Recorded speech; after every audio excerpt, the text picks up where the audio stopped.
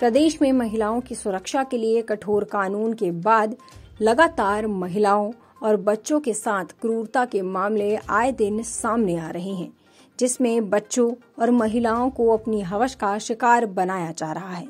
एक ऐसी ही घटना जसपुर कोतवाली क्षेत्र के अंतर्गत सूतमील क्षेत्र से एक बुज़ुर्ग व्यक्ति को छोटी बच्ची के साथ छेड़छाड़ करना भारी पड़ गया।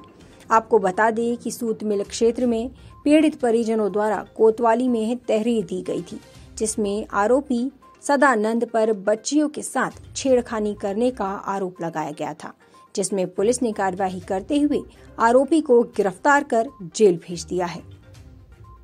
जसपुर से डॉक्टर गुलाब सिंह राणा के साथ प्रदीप श्रीवास्तव की रिपोर्ट।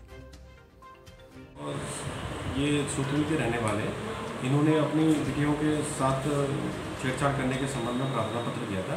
तो इसके संबंध में हमने जो है एक सदानंद को, जो जी सुतमिल के रहने वाले उन्हें गिरफ़्तार किया गया है।